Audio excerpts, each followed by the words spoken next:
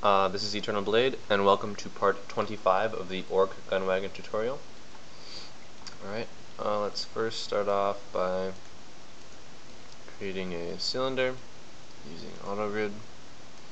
Right about here, bring it out, zero or one height segment, 20 sides, convert to editable poly, polygon, select that, select the edges, chamfer, chamfer a bit, polygon, uh, inset it.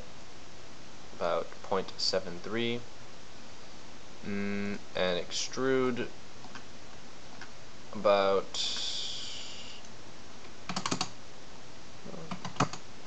fifty.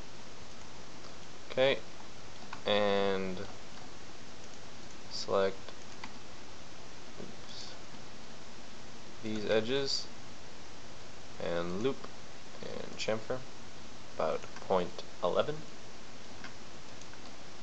and then you're going to want to copy it and rotate it 180 degrees and then sink it in to the side over here. Okay. Next attach uh, select those two polygons and bridge. Alright um, now select that entire thing and just um,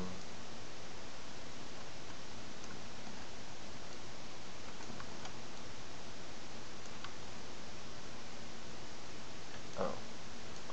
Alright just scale it that way so you get it a bit smaller. Then push it back. Make sure it doesn't touch this thing. Alright. Um, let's start building a door. So we're going to want to create a box just about here.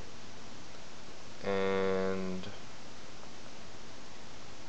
not that wide bring it out. So 25.5 by 35.1 by mm, 0.5 okay convert to editable poly polygons like that edges chamfer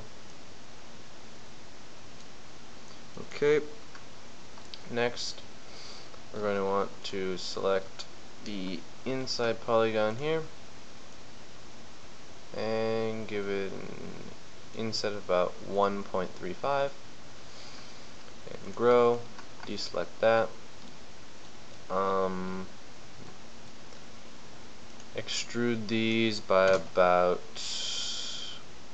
ooh, point or 0.4 okay. And then give them a small bevel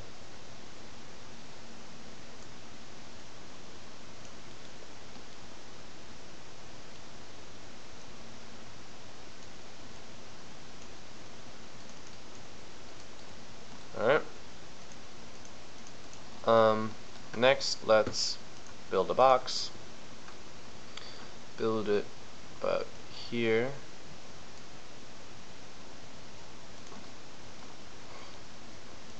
Bring the height in a bit. Alright. Convert to editable poly. Edges select this edge and this edge. Oops. this edge connect uh, twice. Select this polygon here. Extrude about 0.5 and then select this. Extrude by about 1.2 select um, select all these edges right here. Connect them once. Select this polygon and this polygon and extrude those by about 0.5 edge select this edge and the internal edge there. Connect connect them twice. Okay select this this this and this and extrude. Alright and lastly use hinge from edge pick hinge there 90 and 9 okay and extrude inward till it hits. Alright uh, next build a cylinder using AutoGrid about that wide. Bring it up. Increase the height a lot drag it down to about there. So it lines up right there. Uh, increase the height. Oops. Uh, until it reaches about there. Looks pretty good and move it inward bit.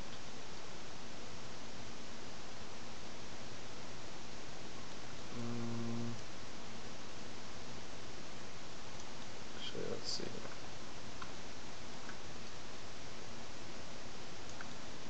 Alright, that looks pretty good right there. Convert to editable poly, polygon, select that polygon,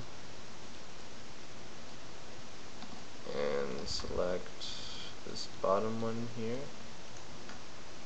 Um, select their edges and chamfer them. Okay, select the polygons again, inset them a bit, about 0.13, and give them a slight outward extrusion of about 0.2.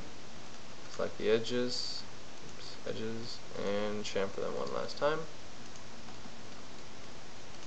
Alright, now select this piece right here.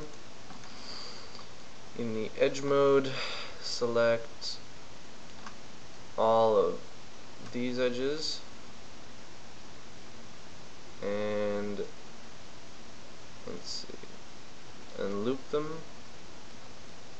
and then select that should be pretty good actually them give them a small chamfer. Alright, uh, and go to polygons, select, or edge, sorry.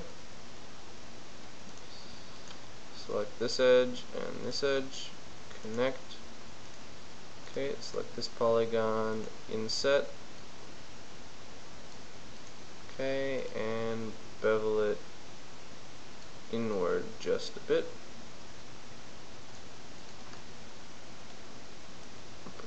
bit. Alright. Looks like this ed editable poly here. And the front view, drag it down a bit, and then drag another one down to match it. Okay. Um, let's see. Right. Um,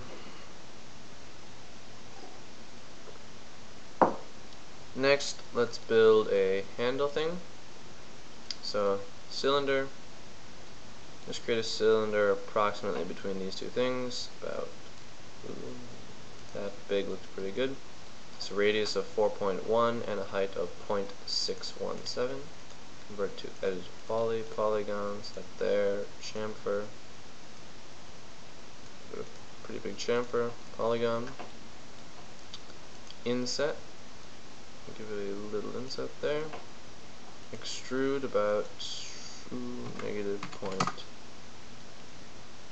three or neg negative point two actually.